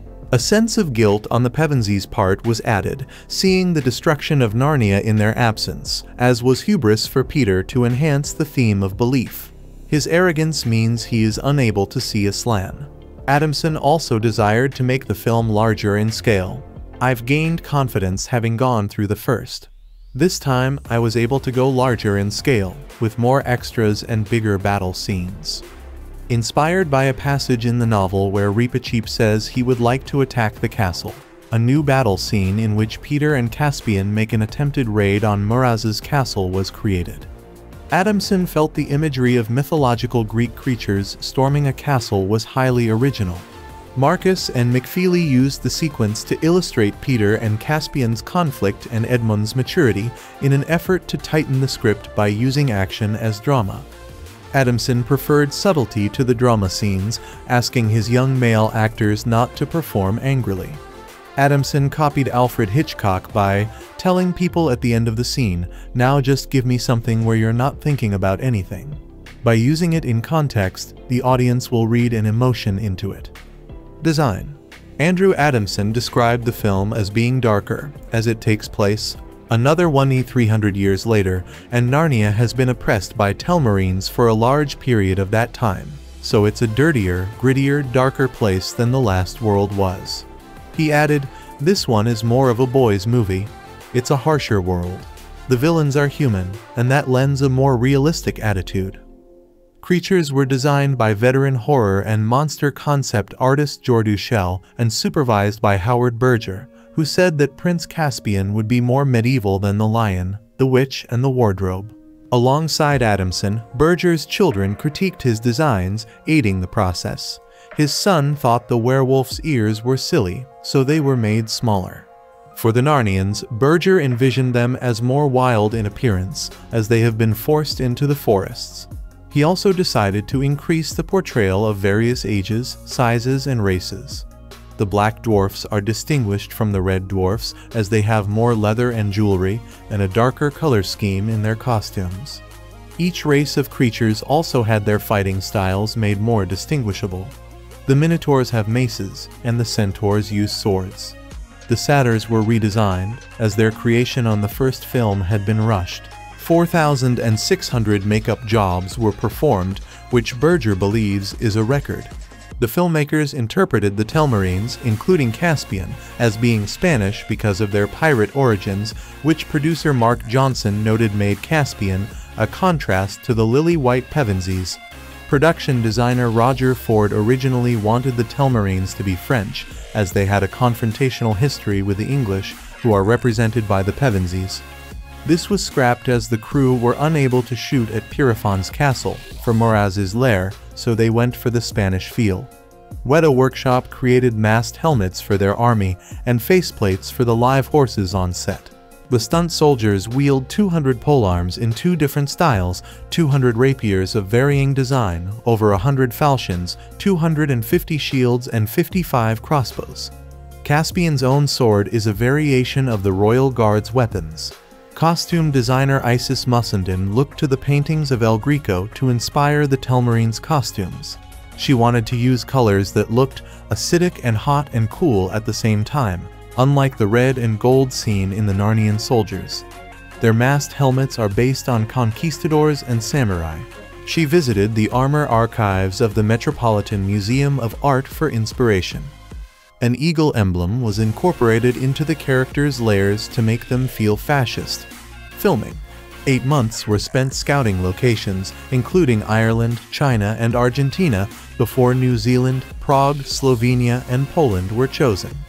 Whereas the previous film was predominantly shot in New Zealand with a few months of filming in Central Europe, Adamson decided New Zealand lacked enough sound stages to accommodate the larger scale of the film. The decision to film most of the picture in Europe also allowed the ability to shoot during summer in both continents, although the weather turned out to be so erratic during filming that Adamson joked he had been lied to. Filming began on February 12, 2007 in Auckland. The scene where the Pevensies returned to the ruined Cair Paravel was shot at Cathedral Cove. The filmmakers chose the location because it had a tunnel-like arch, which echoed the train tunnel the children go into before being summoned back into Narnia. Henderson Valley Studios was used for the Pevensies' ancient treasure room and the underground station. On April 1, 2007, the crew began filming at Barrandov Studios in Prague. There, sets such as Miraz's castle, the Aslan's How, and the underground hiding places of the Narnians were created. The 200-foot tall 61M castle was built to scale because Adamson felt he overused digital sets on the last film 57 The castle was built in the open air during winter, where the temperature would drop to 4 F20C. Miraz's courtyard is the largest set in production designer Roger Ford's career, including the previous Narnia film. Aslan's How was modified into the hideout after filming for those scenes was finished. To create Truffle Hunter's den, Ford's crew put a camera inside a badger's den to study what it should look like. The den's roof had to be raised by 3 inches because Ben Barnes was too tall. In June 2007, they shot the bridge battle near Bovec in the Soka Valley, Slovenia. The location was chosen for its resemblance to New Zealand. A large bridge was built, which was modeled on the one Julius Caesar built to cross the Rhine. Whereas Caesar supposedly built his bridge in 10 days, the filmmakers had around 40. The schedule was short though, but the authorities would only allow them this build time to not completely disrupt normal summer activities on the lake. The filmmakers made a trench to change the river's course so they could deepen the drained sides of the riverbed so it looked like one could drown in it. The crew also cut down 100 trees for shots of the Telmarines building the bridge. The trees were moved to another side of the river for decoration. The bridge stood for two months before being dismantled. As part of the cleanup, the cut down trees and parts of the bridge were sent to a recycling plant, while other portions of the bridge were sent to the studio for close-ups shot against blue screen. Part of the battle was shot at Ústí nad Labem in the Czech Republic. Only the entrance to Aslan's How was built on location. Adamson wanted Peter and Miraz's duel to feel unique and not like a controlled, overly choreographed fencing match Moseley and Castellitto began training for the scene in November 2006. The stunt coordinator Alan Poppleton doubled for Castellitto in some shots because they are similar in size. For claustrophobic shots, cameras were built into their shields. The main camera was placed on a 360 degree track surrounding the ruin it takes place on. The filmmakers dug a large hole in the ground for the scene where the Narnians caused the pillars supporting the growth near Aslan's how to collapse on the Telmarines. The earth was then restored following completion of the scene. They also had to restore the grass after filming numerous cavalry charges. 18 and fern plants were imported to the Czech Republic to create a forest. A scene shot in Poland, which involved building a cliff face, also had to leave no trace behind. Filming finished by September 8, 2007. Effects Prince Caspian has over 1,500 special effects shots, more than The Lion, The Witch, and The Wardrobe's 800 effects shots, yet the film had less time to complete them. The scale of special effects led Andrew Adamson to base production in the UK to take advantage of new tax credits. Therefore, it legally qualifies as a British film. This also meant the director only had to walk five minutes from the editing room to supervise the effects. British visual effects companies The Moving Picture Company and Framestore CFC were hired to create the visual effects alongside Weta Digital. Framestore worked on Aslan, Truffle Hunter, and The Door in the Air. Scanline did The River God. Weta created The Werewolf, The Wild Bear, and Miraz's Castle. MPC and Escape Studios did the main battle, the tunnel scene, the castle assault, the council scenes, and all the other creatures. Alex Funke, who worked on The Lord of the Rings, directed the film's miniatures unit. These include 124th and 100th scale miniatures of Miraz's castle. A scale model was built of the Narnians' cave hideouts during the climactic battle. which the actor playing the giant Wimbleweather was filmed against. One of the improvements made over the previous film was to make the centaurs walk during dialogue scenes, so Cornell John as Glenstorm wore Poweriser's mechanical stilts with springs to mimic a horse's canter and height. The animatronic Minotaur heads were also improved to properly lip sync, although this was not as successful as hoped and had to be revamped digitally. In the climactic battle, 150 extras stood in for the Narnians, while 300 extras were used for the Telmarines. These were digitally duplicated until there were 1,000 Narnians and 5,000 Telmarines on screen. The animators found it easier to create entirely digital centaurs and fauns rather than mix digital legs with real actors. The dryads were entirely computer generated, whereas in the first film digital pedals had been composited over actors. However, Adamson had chosen to make the centaurs not wear armor, meaning the animators had to make the human horse joint behave more cohesively. Combining digital characters with actors, such as when Lucy hugs Aslan, had become easier since the first film, as lighting had improved. To achieve Lucy hugging Aslan, Framestore even replaced Georgie Henley's arm with a digital version. For the Griffons, a motion control rig was created for the actors to ride on. The rig could simulate subtle movements such as wing beats for realism. Adamson cited the river god as the character he was most proud of. It was a really masterful effect. To control water like that is incredibly difficult, he said. The visual effects company told us they'd been waiting to do a shot like that for 10 years. The film features catapults resembling windmills that can fire rapidly and a ballista that can fire three projectiles at a time. The practical versions of these were metal with fiberglass painted and aged to resemble wood on top. Weta created props of the missiles thrown by the Telmarine equipment. The practical version of the catapult had its upper half painted blue to composite a digital version programmed for rapid firing movement. Music The Lion, the Witch, and the Wardrobe composer Harry Gregson Williams began composing the sequel in December 2007. Recording began at Abbey Road Studios the following month and finished by April 2008. The Crouch End Festival Chorus, Regina Spektor's song, The Call, Oren Lavie's song, Dance Round the Memory Tree, and Switchfoot's song, This Is Home, are featured on the soundtrack. Imogen Heap, who sang Can't Take It In for the first film, wrote a new song which Gregson Williams considered too dark. Gregson Williams' score is darker to follow suit with the film. Gregson Williams wanted Caspian's theme to convey a vulnerability, which would sound more vibrant as he became more heroic. It originally used a 34 time signature, but the opening scene required a 44 and thus it was changed. To represent Miraz's cunning, the heroic theme from the first film was inverted. For Reepicheep, a muted trumpet was used to present his militaristic and organized character. Gregson Williams considered arranging his theme for a small penny whistle, but found that it sounded too cute and broke the tension of the night raid. Release During pre-production, Disney announced a December 14, 27 release date, but pushed it back to May 16, 2008 because Disney opted to not release it in competition with The Water Horse, another Walden Media production. Disney also felt the Harry Potter films comfortably changed their release dates from Northern Hemisphere winters to summers, and Narnia could likewise do the same because the film was darker and more like an action film. The world premiere was held at the Ziegfeld Theatre in New York City on May 7, 2008. The British premiere was held at the O2 Arena on June 19, the first time the Dome has hosted a film screening. Around 10,000 people attended the event, the proceeds of which went to Great Ormond Street Hospital. The film opened in 3929 theaters in the United States and Canada on May 16, 2008. The Motion Picture Association of America gave the film a PG.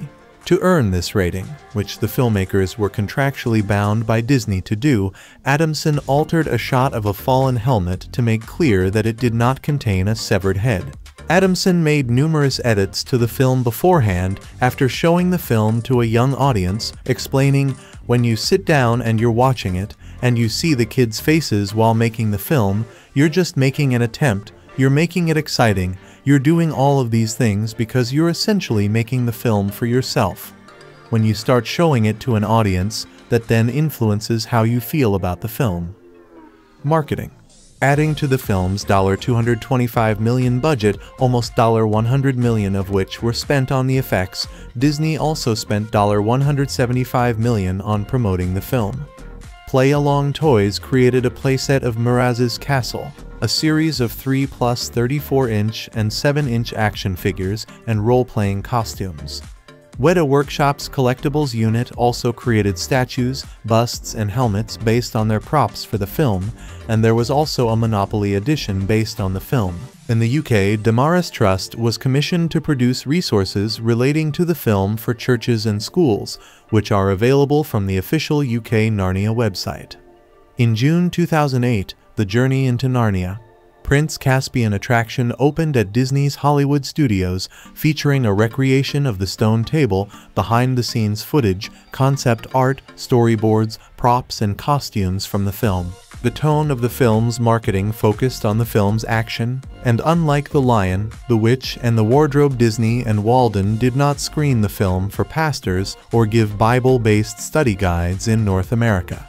Home Media Prince Caspian was released on DVD and Blu-ray disc in the UK on November 17, 28 and on December 2, 2008 in North America. It was the top-selling DVD of its release week in the US, taking in $54.7 million. The film was released in Australia on November 27, 2008. There were one disc and three disc DVD editions, two disc only in the UK, and two disc and three disc Blu-ray disc editions, two disc only in the UK. The first two discs contain an audio commentary by Adamson, blooper reel, deleted scenes, and documentaries, while the third disc contains a digital copy of the film. For the Blu-ray disc, Circle Vision 360 was used to allow viewers to watch the night raid from different angles.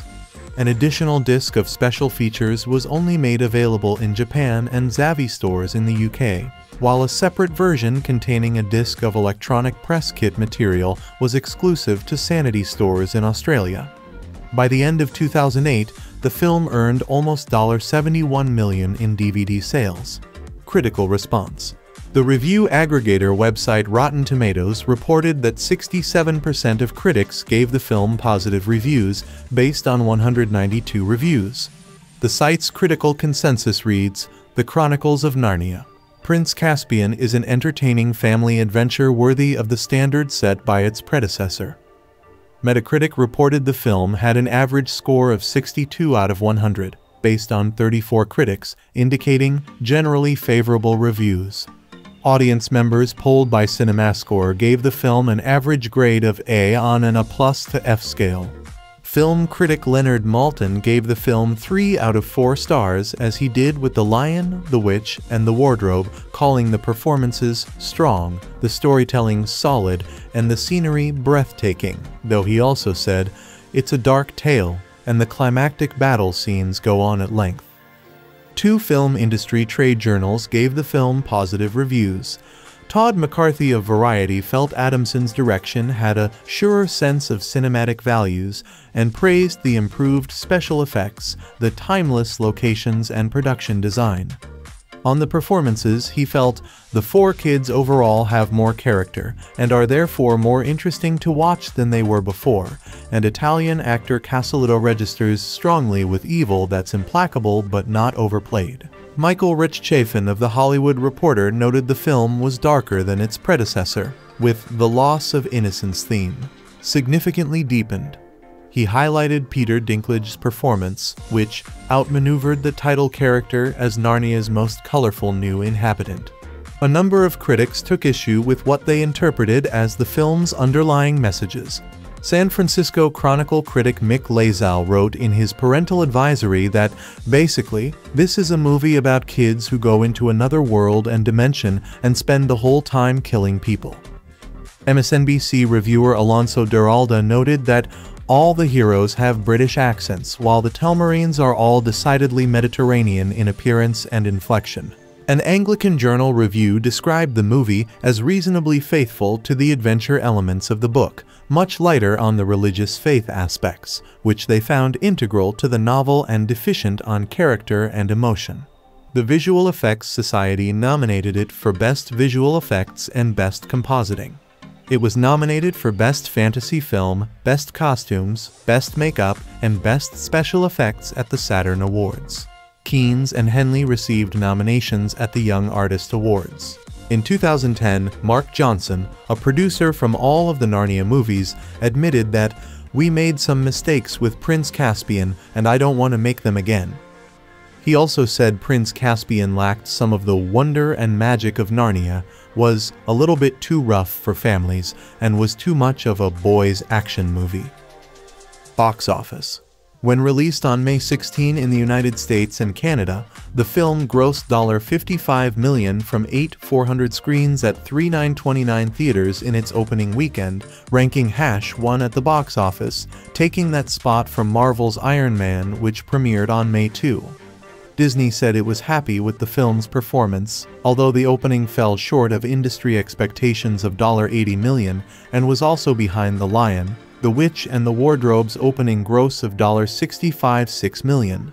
By June 1 it grossed 115 million, while the first film had grossed 153 million in the same amount of time. Disney CEO Robert Iger attributed the film's underperformance to being released between two of the year's biggest hits, Iron Man and Indiana Jones and the Kingdom of the Crystal Skull. On May 16, the film also opened at number 1 in 12 other countries, grossing $22.1 million and bringing the worldwide opening total to about 77 million. The film opened in Russia with 67 million, the biggest opening of the year. It earned $63 million 15% more than the first in Mexico. $4 million in South Korea, making it in the third most successful Disney film there.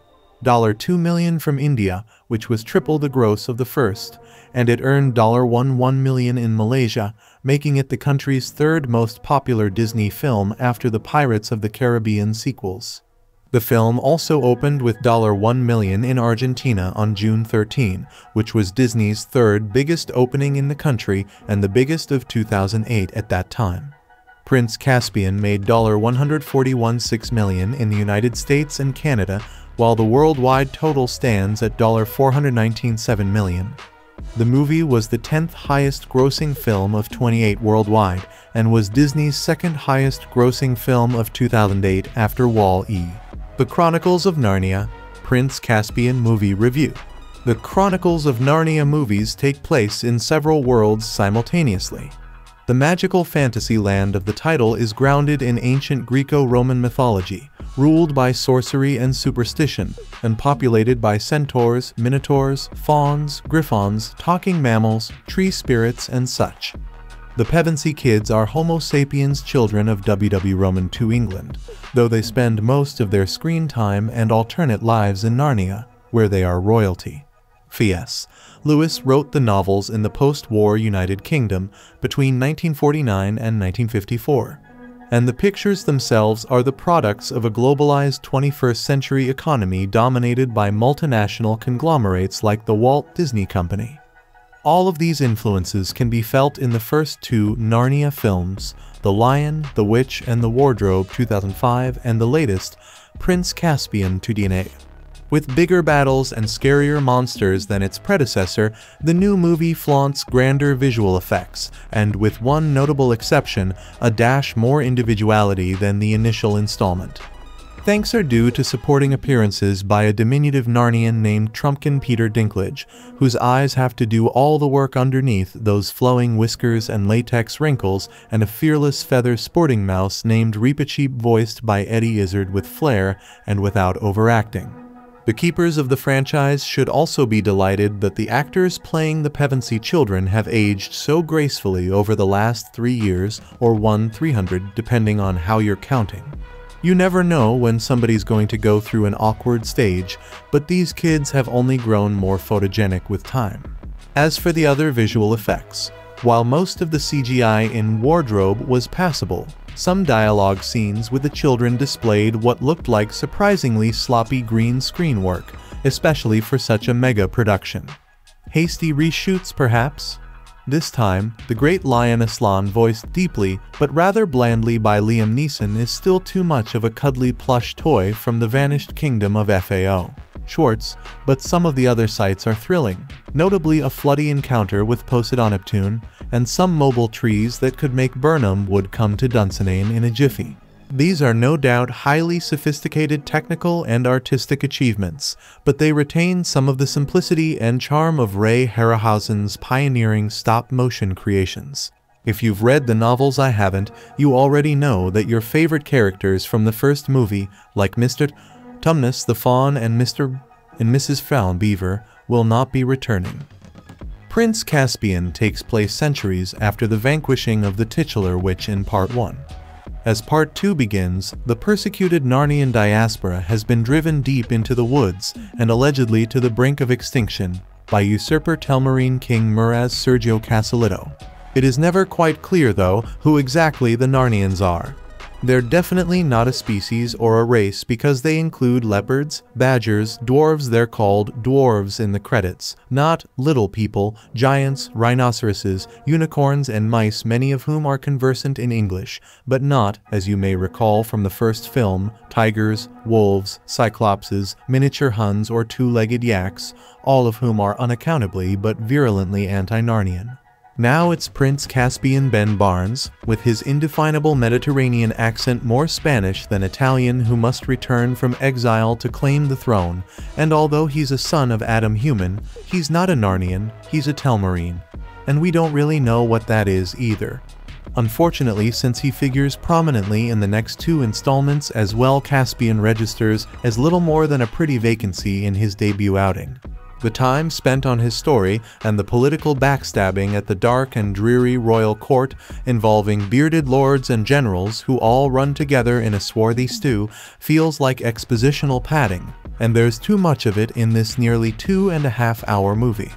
When the film initially plunges us into the Caspian story, the prince's daring escape from his uncle's castle on the night Miraz's wife delivers him a male heir, its strategy is unclear, are we being introduced to a new character because we're supposed to care, or are the filmmakers just toying with us, delaying the gratification of seeing the Pevensie siblings?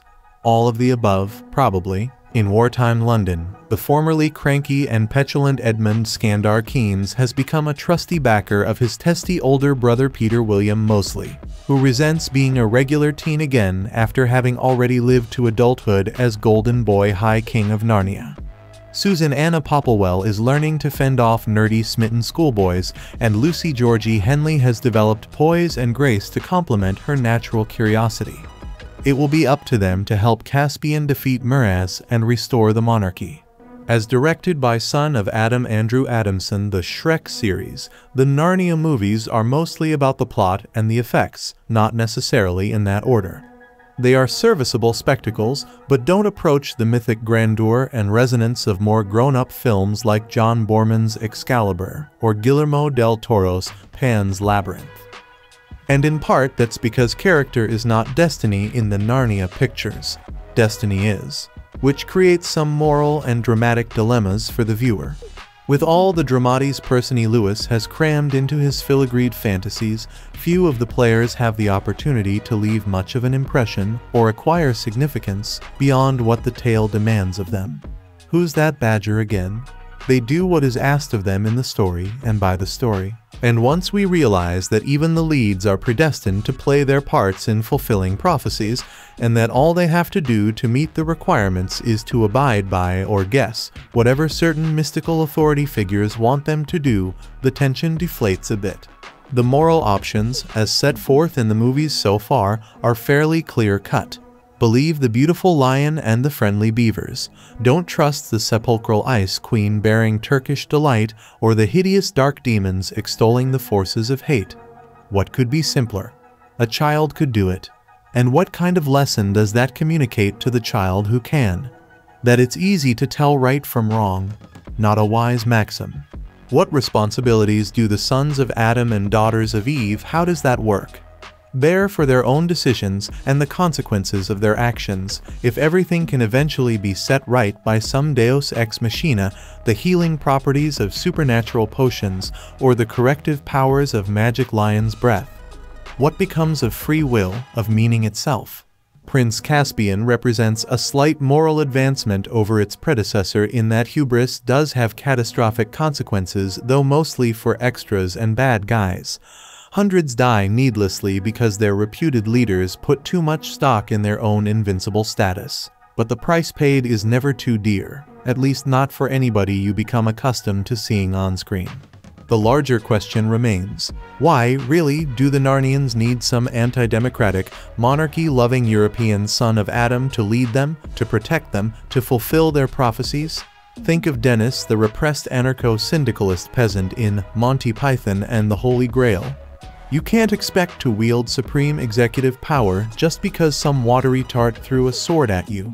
Why can't the Narnians just lead themselves? There's an obvious candidate for the job here, a towering black centaur named Glenstorm Cornelis, John, possessed of a noble bearing unsurpassed in Narnia. He doesn't move as gracefully as he ought, but that fault lies with the effects crew and not with the character. Now this charismatic fellow is a natural leader, a prophet, and a mesmerizing public speaker to boot. When he talks, you listen. He could also kick the pudding out of Peter or Caspian with both arms behind his back and still have four legs to stand on. Sadly for him and us, his fate was decided a long time ago by an Irish writer who dwelt in England's green and pleasant land. Other information about this film. Narnia has a crate and key epidemic in Disney Interactive's new Prince Caspian video game. Though there's a fair bit of action, this movie adaptation is primarily a collection of platform gaming cliches with an emphasis on punching through breakable containers in search of the items needed to keep going. Sterling reproductions of the movie's CG sets will wow anyone, but Caspian's obsession with trivial collectibles and too obvious puzzles limits its appeal to young gamers and Narnia buffs. Developer Traveller's Tales is best known for its breezy, lucrative LEGO Star Wars games. Prince Caspian could almost be LEGO Narnia, only without the plastic blocks or sense of irony. Instead, gamers get a respectably literal imitation of the film divvied equally into battle sprees and fetching missions intercut by smartly edited and uncommonly complete shots from the movie, including two made especially for the game. The voice work, provided by all of the film's principal talent save for Eddie Izzard Reepicheep, is solid if unremarkable. Problematically, Caspian turns its cast of controllable heroes, which includes the Pevensie children, a handful of Narnians and Prince Caspian himself, into barrel-bashing gophers. The game is mostly about scouting small maps, collecting keys that open bonus chests and battering every crate and barrel in sight to free glittering shards that boost armor rating. Since each area resets when players leave and return, racking up a perfect armor rating and 10 times the number of keys necessary to unlock everything is possible before the halfway mark, especially confounding when that point can be reached in about 3 hours. Missions primarily consist of staving off gangs of Telmarines while finding cogs to assemble Rube Goldbergian contraptions, standing on depressible platforms to open doors, and employing special abilities like shooting and climbing to solve bland puzzles. Those who aren't put off by the cliches will almost certainly balk at the way the same to DOS are woven into nearly every level. For all it makes overly easy, much about Caspian can be maddeningly abstruse. For instance, it's impossible to see how many bonus chests are on a map without first completing that area's mission. Also, players must be near another character to swap control, which feels punitive when wading solo through hundreds of battling figures. Worst of all is the fixed position camera, which hunkers under battlements, hides behind pillars, and pretty much sticks on the wrong side of everything. It's another example of a holdover from the LEGO Star Wars games that makes an already derivative experience that much more irritating. This film directed by Andrew Adamson. Screenplay by Andrew Adamson, Christopher Marcus, Stephen McFeely. Based on Prince Caspian by C.E.S. Lewis. Produced by Mark Johnson, Andrew Adamson, Philip Stewart. Starring Georgie Henley, Skandar Keynes, William Moseley, Anna Popplewell. Cinematography Karl Walter Lindenlaub. Edited by Sim Evan Jones. Music by Harry Gregson Williams. Production companies Walt Disney Pictures, Walden Media, Mark Johnson Productions, Silverbell Films. Distributed by Walt Disney Studios Motion Pictures. Release dates May 7, 2008 in New York City, May 16, 2008 in United States, June 26, 2008 in United Kingdom. Running time 150 minutes. Countries United Kingdom, United States. Language English. Budget 225 million. Box office $419.6 million. So guys, this is the review of the Chronicles of Narnia, Prince Caspian movie and some information about it. How do you like our today's video? Please let us know by commenting, and if you like this video, please like